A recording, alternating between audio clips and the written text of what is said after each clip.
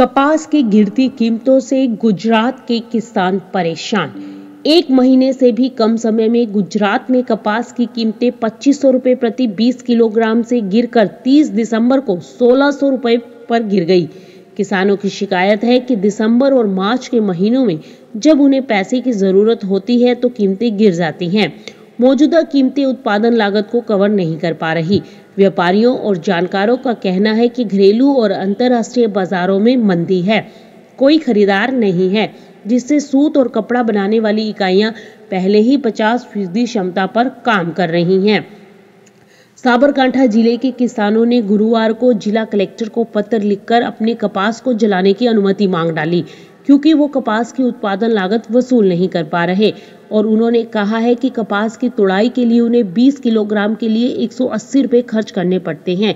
किसानों के मुताबिक उन्हें 20 किलो के लिए कम से कम इक्कीस रुपए मिलने चाहिए, ताकि खर्च पूरा हो सके और कुछ मुनाफा मिल सके। केंद्र सरकार ने मानसून से पहले 20 किलो के लिए न्यूनतम समर्थन मूल्य के रूप में बारह रुपए की घोषणा की थी। सरकार का मानना है कि इस कीमतों पर किसानों को प्रति 20 किलो पर 600 रुपए का मुनाफा हो सकता है। उधर कॉटन एसोसिएशन ऑफ़ इंडिया के सचिव का मानना है कि कपास के विकल्प व्यापार की अनुमति देना बिल्कुल भी अच्छा विचार नहीं है, क्योंकि जिस क्षण अनुमति दी जाती है, बहुराष्ट्रीय कंपनियाँ अपने उत्पादों को बाज़ार में उतारना शुरू कर देंगी। घरेलू बाजारों में गड़बड़ी होगी। ऐसे में सचिव का कहना है कि कपास की कीमतों में गिरावट का कारण घरेलू और अंतर्राष्ट्रीय बाजारों में कपास की कम मांग है।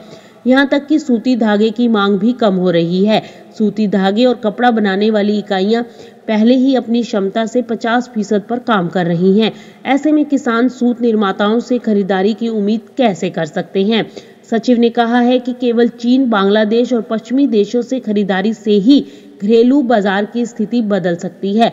कपास की मांग में एक बार फिर से तेज़ी बन सकती है और कीमत भी जिससे किसानों को कुछ राहत मिलेगी, ऐसी मिल सकती है।